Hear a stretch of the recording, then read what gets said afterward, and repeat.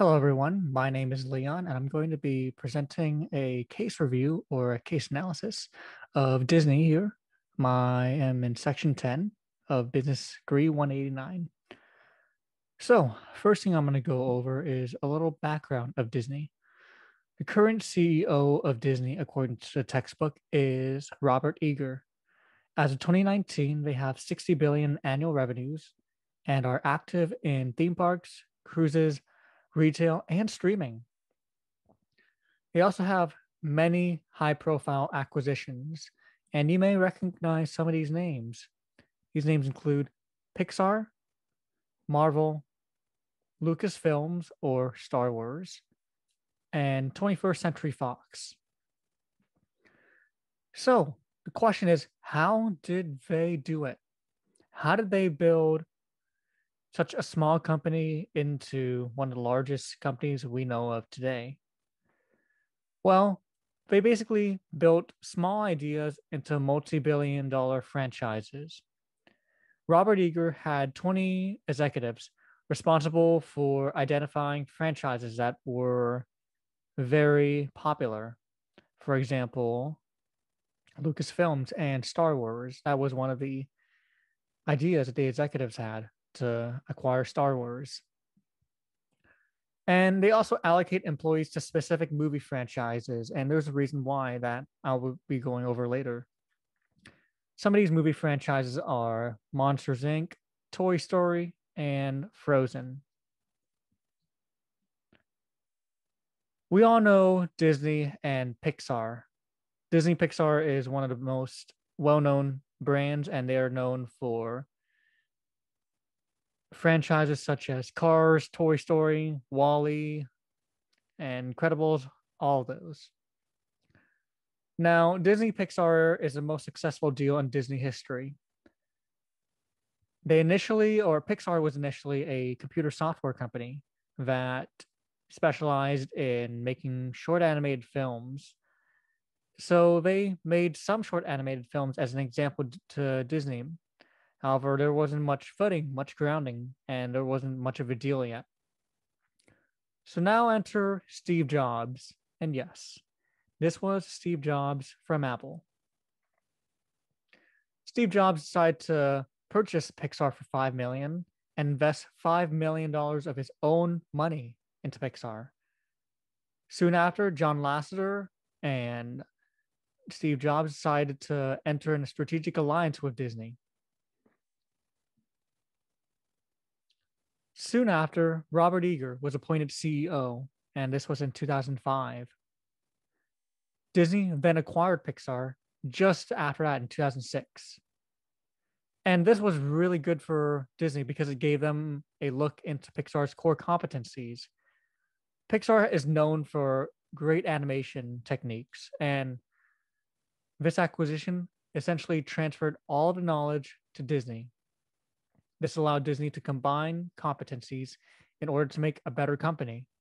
And this also allowed Disney to make better animations, better films as we know it today.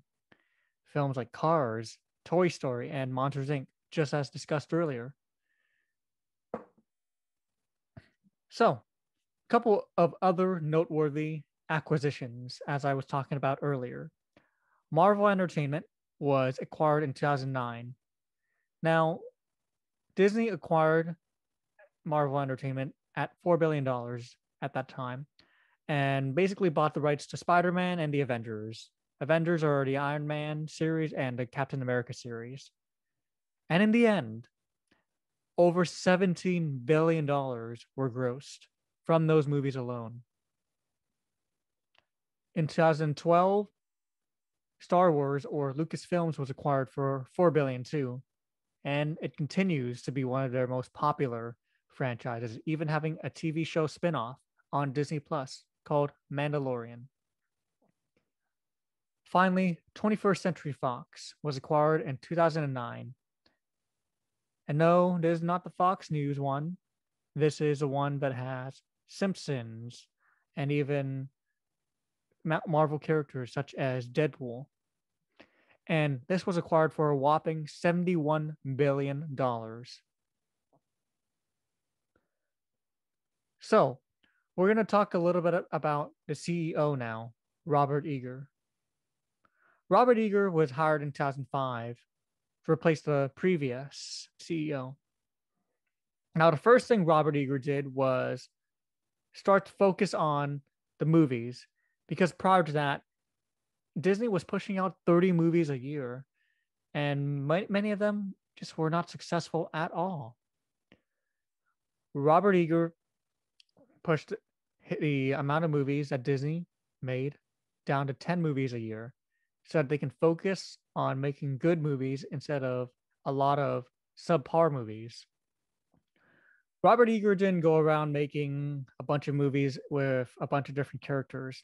He stuck to characters that we knew and loved.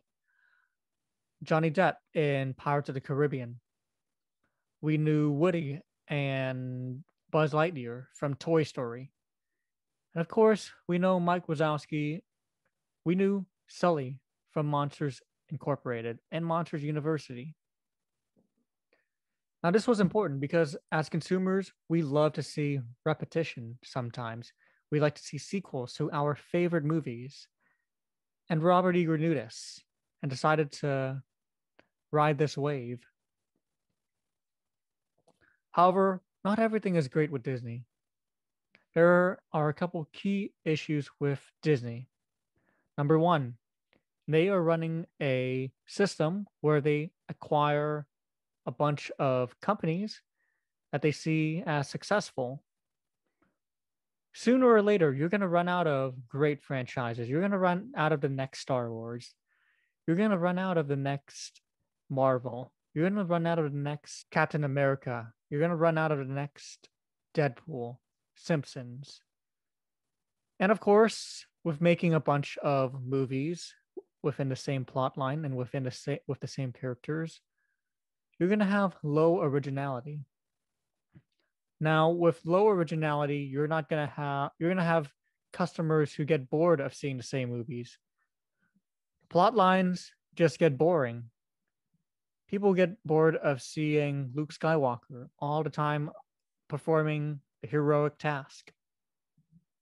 Eventually, they're going to need to think of new ideas within these franchises. Additionally, a majority of their profits come from TV networks, believe it or not. These TV networks are ESPN, ABC. And the issue is that many consumers are moving to Hulu Netflix, and other streaming services solely for the convenience. However, Disney had solved this with Disney Plus and ESPN Plus. However, we still don't know the full scope of how successful Disney Plus will be. And finally, the biggest issue here is Robert Iger leaving Disney. There's a couple of issues with Robert Iger leaving Disney. First off, he's a CEO that br- brought fame and fortune to Disney as we know it today. Though he was supposed to step down in 2015, he extended his term until 2021, possibly even further. With no new CEO in sight and no information about a new CEO, we're forced to wonder will Robert Iger leave Disney? And if so, he has big shoes to fill. Who will be the one to replace Robert Iger? And will that new CEO be as successful as Robert Iger? However, despite all this, despite Robert Iger leaving company and so many more issues presented by the COVID 19 pandemic with their parks and cruises, Disney is still going to be here to stay. With their core competencies of animated movies and making excellent franchises, they will be successful in the long run. Thank you for listening to my presentation. My name is Leon, and I am in Business Degree 189, Section 10.